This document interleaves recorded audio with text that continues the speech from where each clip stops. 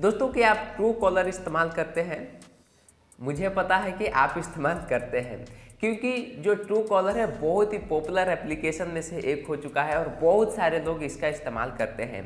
आप मुझे कमेंट में बताइए कि क्या आप ट्रू कॉलर सच में इस्तेमाल करते हैं कि नहीं? देखिए, यहाँ पर मैं आपको बताने वाला हूँ कि ट्रू कॉलर अगर आप इस्तेमाल करते हैं तो आप ट्रू कॉलर में अपने जो भी आईडी है, उसका नाम कैसे चेंज कर सकते हैं? देखिए, बहुत बार कई सारे लोग चाहते हैं कि ट्रू कॉलर में मेरा ओरिजिनल नाम न शो हो। जैसे कि मेरा नाम विवेक कुमार है, अगर कोई मेरा नंबर डायल करता है तो वहाँ पर विवेक कुमार दिखाई दे देता है। तो मैं चाहूँगा कि अगर ट्रू कॉलर में मेरा नाम विवेक न दिखाई दे तो यहाँ पर मैं चेंजेज कर सकता हूँ ट्रू कॉलर में जा करके जिससे कि मेरा एक्चुअल नाम शो न हो।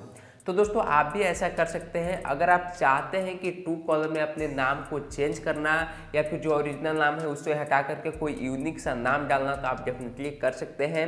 इस वीडियो को लास्ट तक देखते रहिए। इस वीडियो में मैं आपको स्टेप बाय स्टेप बताया हूँ कि आप ट्रू कॉलर में अपने नाम को कैसे चेंज कर सकते हैं। तो दोस्तों, चलिए इस वीडियो को शुरू करते हैं। यहाँ पर मैं अपने फ़ोन का स्क्रीन पर आ चुका हूँ। सबसे पहले ट्रू कॉलर को ओपन कर लेना है। उसके बाद लेफ़्ट के टॉप कॉर्नर में आपको प्रोफ़ाइल का आइकन दिखेगा, उस पर आपको टैप करना है।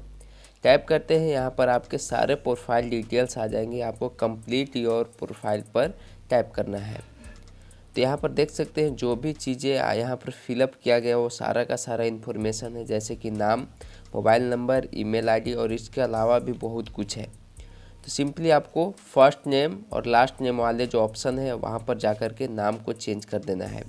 तो मैं यहाँ से नाम को डिलीट करके यहाँ पर दूसरा नाम जैसे कि राजू लिख देता हूँ और उसके बाद आपको सेव कर देना है। दोस्तों, आप सेव कर सकते हैं। मैं यहाँ पर सेव अभी नहीं कर रहा हूँ और सारे इन्फॉर्मेशन आप अपने अकॉर्डिंग यहाँ पर भर करके उसे भी आप यहाँ पर सेव कर सकते हैं। तो इस तरीके से आप ट्रू कलर में किसी भी नाम को रिप्लेस करके या फिर चेंज करके दूसरे नाम को सेट कर सकते हैं। और दोस्तों, जैसे आप इसे सेव कर देते हैं तो जब कोई भी व्यक्ति आपके इस नंबर पर फ़ोन करता है तो नया नाम शो होना शुरू हो जाएगा।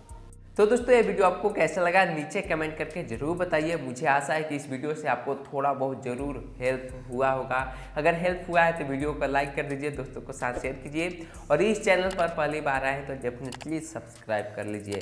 तो मिलते हैं नेक्स्ट वीडियो में, तब तक के लिए दीजिए मुझे इजाज़त। जय हिंद, जय भारत।